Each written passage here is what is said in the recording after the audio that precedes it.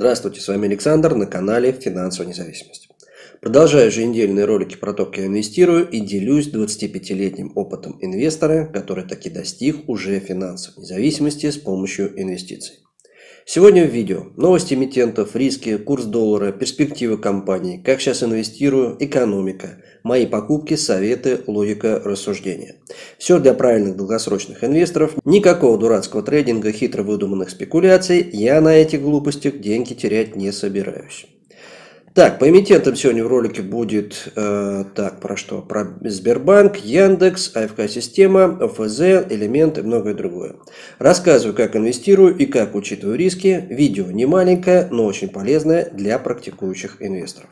Начну со Сбербанка. Сбербанк опубликовал сокращенные финансовые результаты по МСФО за третий квартал 2024 года.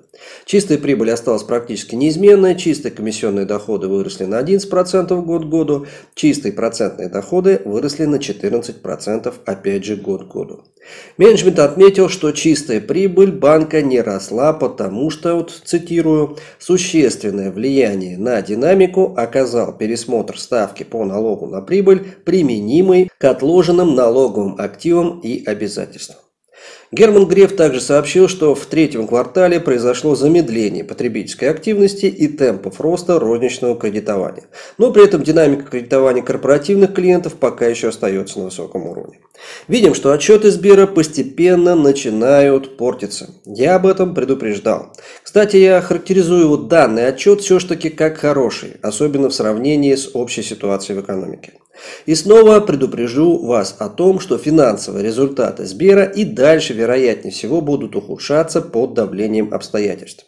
Прежде всего, это снижение выдачи ипотеки после сворачивания льготных про программ. Гриф уже оценил падение примерно 40% по итогам года. Вот, э, это по теме ипотека. Также негативно может повлиять и финансирование и риски невозвратов по кредитам. На этот случай банкам приходится наращивать резервы. Также негатив – это снижение корпоративного кредитования стратегических отраслей из-за высоких ставок. Ну, тут, кстати, стоит вспомнить э, претензии Чемизова к ЦБ о том, что при таких вот ставках у компании нет достаточной рентабельности для обслуживания долгов. Ну и другие риски и отягчающие обстоятельства. Я покупал Сбер на текущей коррекции. Покупал несколько раз, цены были вполне неплохие. Собственно и сейчас цена акций Сбера обладает некоторым потенциалом роста, но этот потенциал ограничен ухудшающимися финансовыми показателями банка, высокой ключевой ставкой и проблемами в экономике страны. Поэтому при повышении цены акции, если такое произойдет, привлекательность покупок Сбера для меня будет снижаться. Ну, потому что я вполне достаточно его подкупил на недавнем снижении. Буду искать привлекательность в других бумагах. Далее, перед следующим эмитентом заявленным просто порекомендую вам заглянуть ко мне в Телеграм. У меня там появилась информация о коротком периоде снижения цен на обучение. Желающих уже очень много, поэтому расписывать уникальность возможности обучиться и успеть начать правильно инвестировать на коррекции рынка не буду. Такие возможности действительно бывают редко. И я вижу, что многие это понимают и приступают к обучению не откладывая. Далее, продолжу лучше. На экране виден счет оранжевого инвестирования. Вот он шевелится, специально это делаю. И счет инвест-клуба. Долго рассказывать, что, зачем и почему, не стану. Просто скажу, что эти два счета соревнуются между собой уже несколько лет. Здесь вот на ютубе, еще до ковида все это дело началось. Суть условий соревнований, зачем все это затеяно, вы можете узнать у меня в телеграме из этого поста от 5 мая. Я уже несколько роликов подряд не объяснял, почему оранжевое инвестирование отрицательная доходность за несколько лет его существования. Напомню, что я не вру и не рисую высокую доходность, хотя сделать это очень легко. И многие блогеры рисуют красивую доходность в буквальном смысле в элементарных графических редакторах. Также стоит учесть, что на счете вот этого оранжевого инвестирования немало заблокированных фондов, которые сейчас торгуются заметным дисконтом у Тинькова. Это исправится со временем, но пока очень заметно влияет на цифру доходности. Именно поэтому мы сейчас здесь видим минус.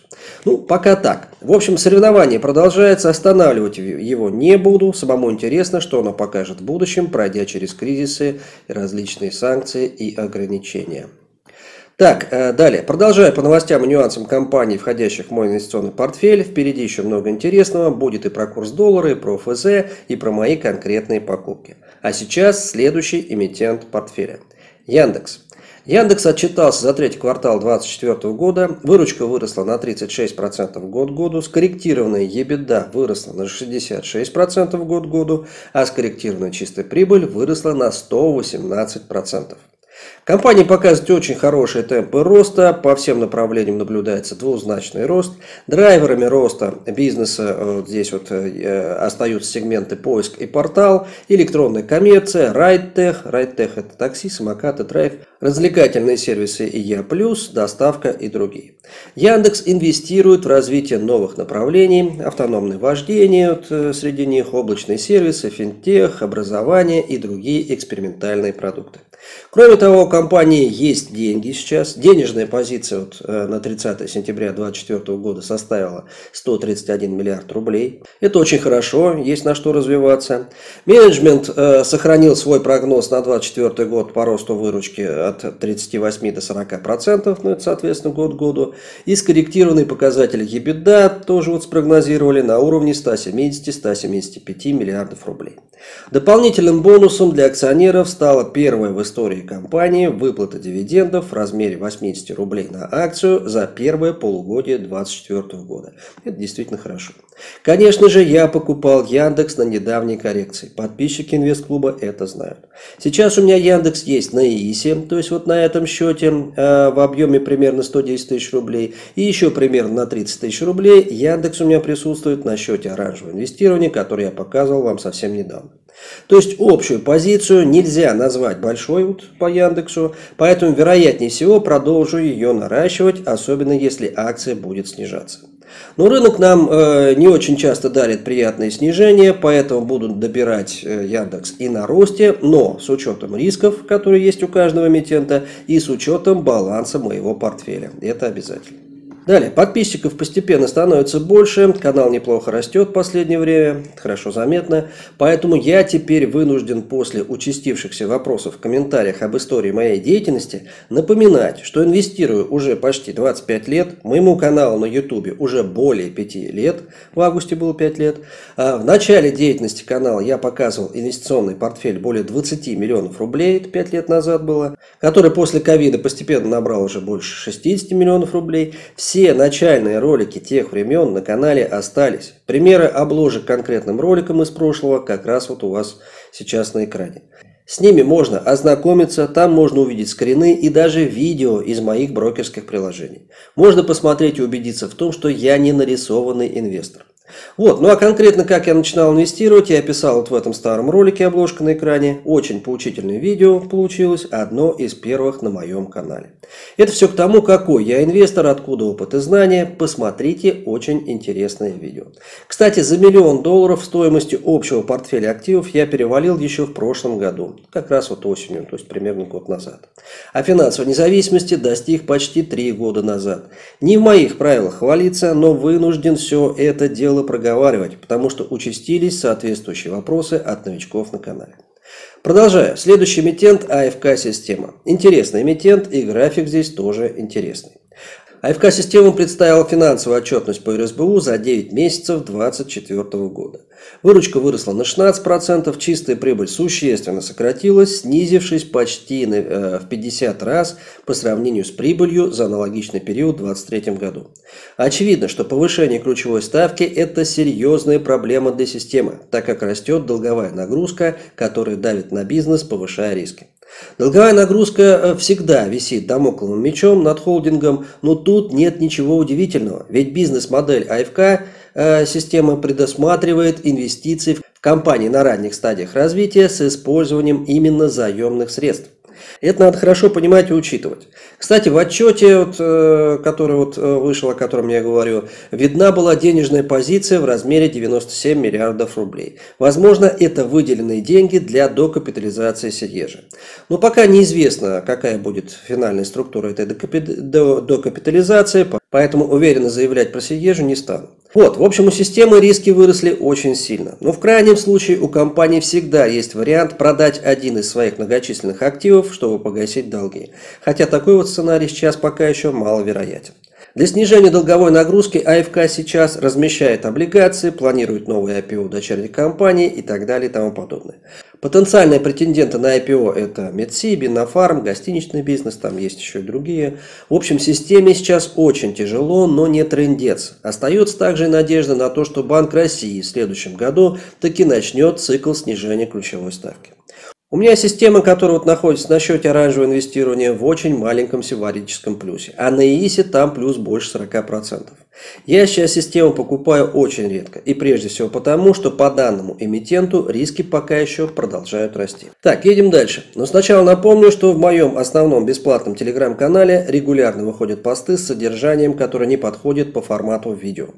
Важные публикации там, как правило, вы их можете прочесть только там. Например, вот эти темы из последних. И напомню, что очевидно усилилось давление на YouTube. Поэтому, если не хотите потеряться со мной из-за его отключения, то добро пожаловать ко мне в упомянутый телеграм-канал.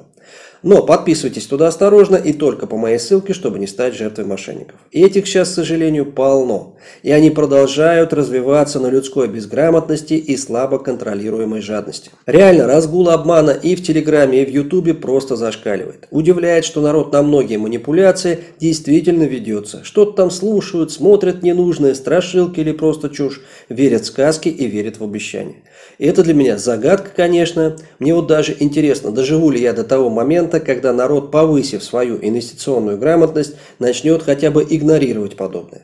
Коллеги, повышайте инвестиционную грамотность. Люди, прошедшие у меня обучение, перестают смотреть 95% каналов в YouTube на инвестиционные темы и очень четко отсекают многочисленных мошенников и хитрецов, а в их число входят большие и всем известные каналы. Даже из-за того, что мои последователи не делают элементарных ошибок новичков, обучение окупается очень быстро. А сейчас еще и действует короткий период сниженной цены на обучающий курс у меня. В общем, загляните в Телеграм, там все написано. Далее, хотел здесь сказать несколько слов про валютный рынок. Есть смысл периодически поглядывать и в эту сторону, ведь у нас, как правило, фондовый рынок поддерживается растущим долларом. Не всегда, конечно, это происходит, но в большинстве случаев, так как индекс состоит в основном из компаний-экспортеров.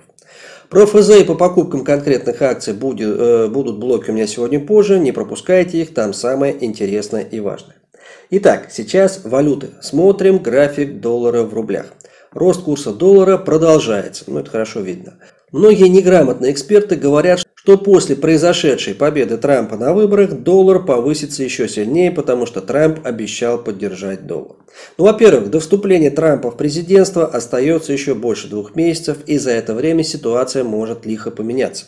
Во-вторых, курс доллара в рублях очень слабо зависит от силы доллара в глобальном смысле. Именно поэтому я в своей аналитике перестал показывать вам динамику индекса доллара. Курс доллара в рублях в основном определяется валютными потоками, характеризующими экспорт и импорт. А это означает, что курс доллара в рублях прежде всего зависит от цен на нефть. И вот здесь Трамп и его экономическая политика смогут как-то повлиять только примерно начиная с февраля. Ну а если вы интересуетесь подробностями происходящих процессов э, в курсообразовании по доллару, то посмотрите вот это вот фундаментальное видео, обложка на экране. Там я дал обоснованный прогноз доллара на декабрь и много объяснил по этой теме. Ищите ссылку на данный ролик в описании к текущему видео. Далее, надо обязательно сказать про ФЗ. Сейчас это важно и очень актуально. Впереди еще блок про покупки акций, а сейчас о ФЗ. Смотрим на индекс RGBI. Данный индекс характеризует динамику всего рынка госдолга России всей совокупностью ОФЗ. Здесь мы видим уже затяжное и почти безоткатное снижение. Но также знаем, что на последних торговых сессиях цены на ОФЗ пошли такие вверх. Я не связываю это повышение с улучшением ситуации в экономике страны. Последние данные понедельной инфляции вышли неоднозначные. По ним пока не видно, что инфляция уверенно развернулась вниз. А рост цен на ОФЗ связан с техническими факторами, э, связан с юанем и с перекладкой средств э, в облигации. Все это может длиться недолго, особенно если не появится поддержка со стороны снижения инфляции. И я бы порадовался, если бы ОФЗ снова перешли к снижению. У меня этих облигаций пока еще все-таки маловато. Они мне нужны для грамотного балансирования портфеля по классам активов. И я уверен, что для вас точно есть смысл разобраться с правильным балансом по классам активов в инвестиционном портфеле. Зачем он нужен и почему. Это наиважнейшее, о чем нужно думать и зачем стоит следить в своем инвестировании, если вы реально хотите правильно инвестировать в долгосрок, а не покупать, что попало и о чем говорят необразованные или хитрые блогеры и брокеры. Это точно стоит понимать и грамотно использовать. Именно о создании грамотного баланса по активам и рискам я и рассказываю в своем обучении. Без понимания этого лучше не начинать инвестировать совсем. Вот, теперь давайте расскажу про покупки. Всего покупок на прошедшей неделе было 12 заметно меньше, чем на предыдущей неделе.